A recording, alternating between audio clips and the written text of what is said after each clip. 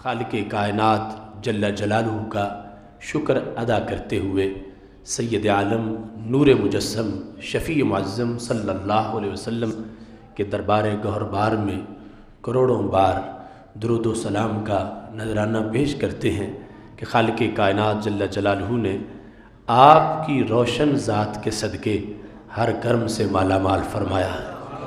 अगर आप ना होते तो कायनात ना होती और किसी चीज़ का वजूद न होता। ईमान की रौनक हमें मैसर न आती। ए, के परतो तेरे हाथ का महताब का नूर, चाँद भी चाँद बना पाके इशारा तेरा। चश्म हस्ती सिफते दीदाए आमा होती, दीदाए कुन में गर नूर न होता तेरा। सैद आलम नूर मुजस्म शफ़ी मुआज़म सल्लल्लाहु अलैहि वसल्लम की ज़ात गिरामी का ये करम है कि आपने दिखाए बग़ैर बंदों को रब का यकीन दिलाया और खाल के कायनात जल्ला जलालहू की तोहीद यूँ समझाई कि जो पास बैठने वाले थे, उन्होंने आपका चेहरा पुरनूर देखा और उन्हें रब के एक होने का पता चल गया।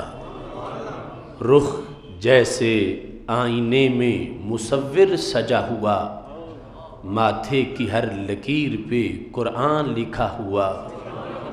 आवाज़ जैसे नगमाए फितरत छिड़ा हुआ।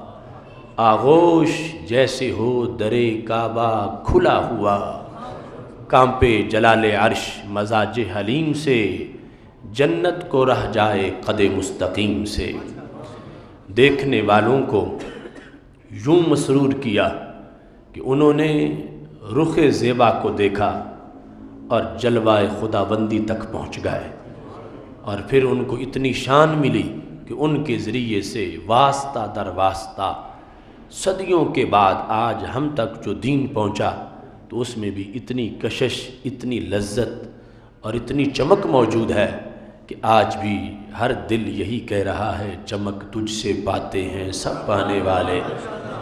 मेरा दिल भी चमका दे चमकाने वाले।